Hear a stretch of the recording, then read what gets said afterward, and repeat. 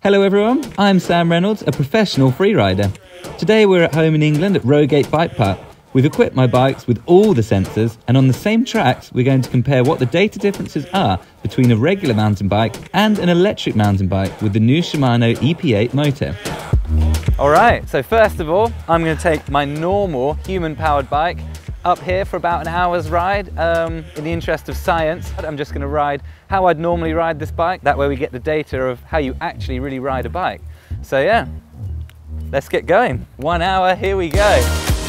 So on the mountain bike, obviously, it's a bit harder to pedal up the hills.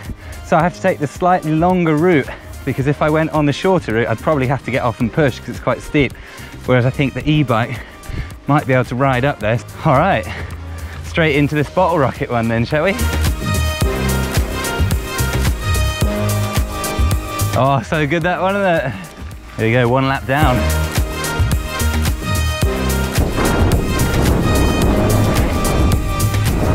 Well, here comes the rain. So it's a true, true UK test, this one. All right, next we're gonna session these little S-turns here, which are pretty sick. It's a really short little track.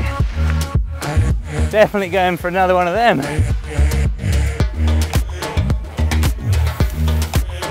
Lap number five.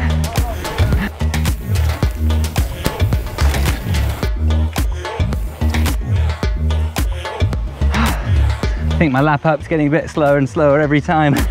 No, gotta push up that bit.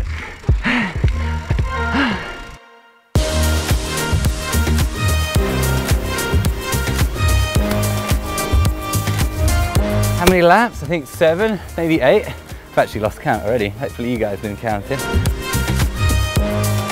Time sort of flies by. Like I see every lap, it takes about, about five minutes. I try and beat five minutes each time. It's actually quite fun, yeah, cranking laps out. Never quite ridden like this. Barely even stopping at the top, but that's good for the good for science.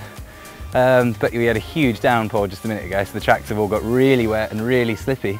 But that's an average day in the woods, you know? So these things happen.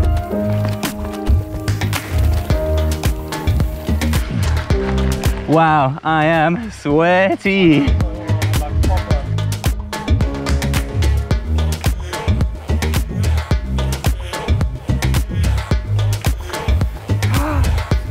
There we go. One hour and 30 seconds. Not bad. I'd tell you that uphills aren't quite so fun, but the downhill on this bike especially, is my little bike park bike. It's like a little small one and it's so fun on the way down. But yeah, that was amazing. But definitely time for a sit down and get reset for the e-bike lap. So to summarize, the uphills obviously are just as it is to go uphill on a mountain bike. Pretty tough work and then the down is fun. So yeah, let's find out on the e-bike how it compares. So we're just gonna swap over all the sensors so there's no hiding here today. Yes, so much beeping going on. Now it is time to do exactly the same but on the E for an exact comparison. I'm gonna go do another hour of biking. Just I'm gonna ride how it feels right to ride this bike so we can find out once and for all if e-biking is cheating or not. What I forgot to mention as well is that um, to sort of so we can compare the different modes, I'm going to start off in eco mode for 20 minutes, the next 20 minutes do trail mode, and then a final 20 minutes of boost blast to see if that makes a difference as well. Eco mode. Ah, let's go. Oh my God, this is so much better already. And I'm only in eco mode. All right, here we go. Back down already.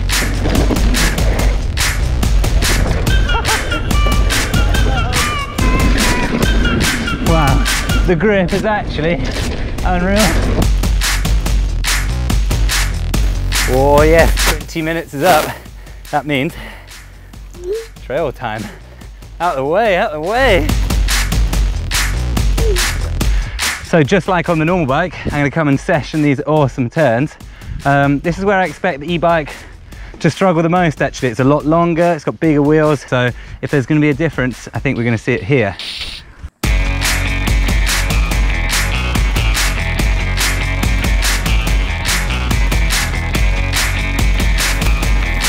That's so good. Don't know if I'm ever going to ride a normal bike again. But now I've got the boost, I'm literally riding straight up the mountain. So easy to pedal up on the E. There's even more grip. I think it's got like full downhill tyres. So yeah, I'd have to walk this on the normal bike. But on this, you get to the top, then drop straight back in. This is too good.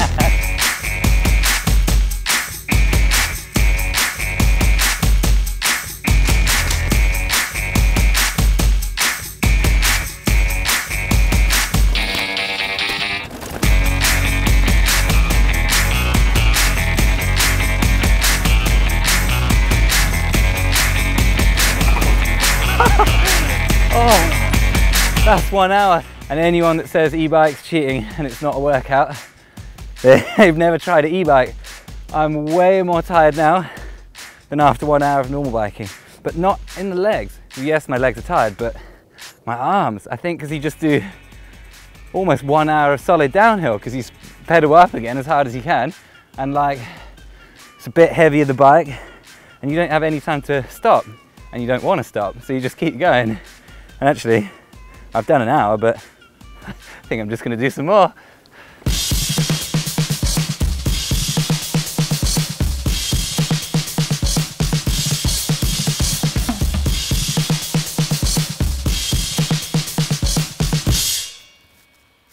Now then, the moment that we've all been waiting for, the true comparison between MTB and EMTB data. So based on the same one hour session, there is no surprise that the elevation, number of laps, distance and average speed is a lot higher with the EMTB, equating to exactly 57% more riding. Now analysing my pedalling data, we can see that I was spinning my legs more on the MTB with more pedal strokes at 65 rotations per minute. As far as power goes, I had to push harder on my pedals with the MTB, but with just 10 watts difference, surprisingly, the pedaling effort is remarkably similar. Moving now to my physical effort, I felt it during the ride, and the data confirmed too that my average heart rate was quite a lot higher on the EMTB, which again was a surprise. So this means I've burnt actually more calories riding the EMTB, so definitely it's not the lazy option that many people think. Last but certainly not least, some fun factors with the jumps, and it looks like I spent a lot more time in the air with the e-mountain bike, giving a much higher return on air miles per hour. Now, if you add the extra bonus laps I've been able to do on my e-mountain bike, the gap becomes even bigger with a lot more riding. So I have my suspicions about the potential of the e-mountain bike, but I've definitely been blown away and surprised by some of the physical aspects of it. At the end of the normal bike ride, my legs were tired, and after the electric bike ride, my whole body could feel it. I guess that's a combination of the extra weight of the bike, but also the higher number of laps, turns, and jumps that I was able to do with it as well. I'll always enjoy riding my normal mountain bike, but the e mountain bike was so good that I'll definitely be doing it more and more.